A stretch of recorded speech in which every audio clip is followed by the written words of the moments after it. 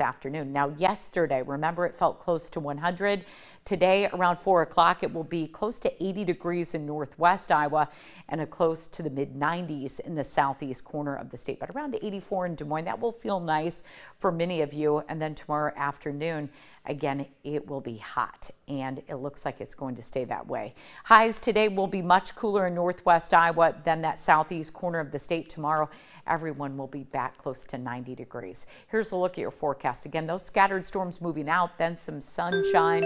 And tonight we will see mainly dry conditions across the rest of the state, but a few spotty storms popping up in southeast Iowa and eastern Iowa. And tomorrow, sunny